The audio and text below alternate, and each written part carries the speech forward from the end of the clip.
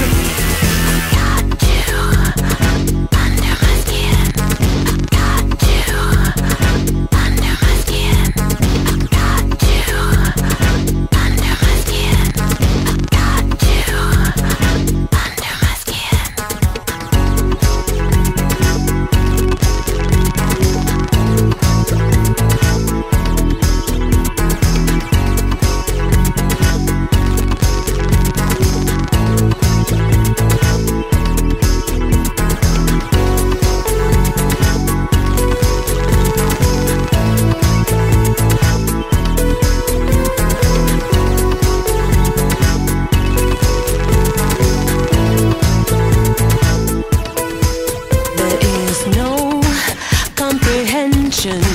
There is real isolation. There is so much destruction.